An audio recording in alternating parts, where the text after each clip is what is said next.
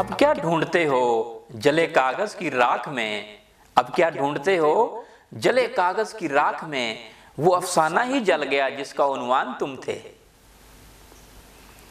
दर्द देने का तुझे भी शौक था बहुत। दर्द देने का तुझे भी शौक था बहुत। और फिर देख, हमने भी सहने की इंतहा कर दी। मिर्ज़ा गालिब फरमाते हैं, दुनिया का खुश नसीब इंसान वो है जिसका ज़रिया मुआश और शौक एक हूँ, यानी पैशन एंड प्रोफेशन और दूसरा जुमला वो फरमाते हैं कि काम इंसान को थकाता है, मोहब्बत इंसान को नहीं थकाती। जिस इंसान को काम से मोहब्बत है, जो इंसान काम को पैशन समझ के करता है, वो कभी थकता नहीं है।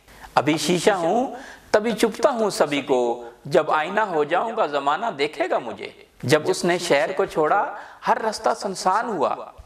अपना क्या है? अपना क्या है? सारे शहर का एक जैसा नुकसान हुआ।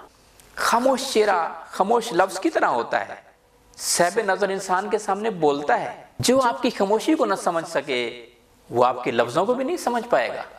सबसे ज़्यादा काबिल नफरत शख्स वो है जो लोगों में ऐप तलाश करता है।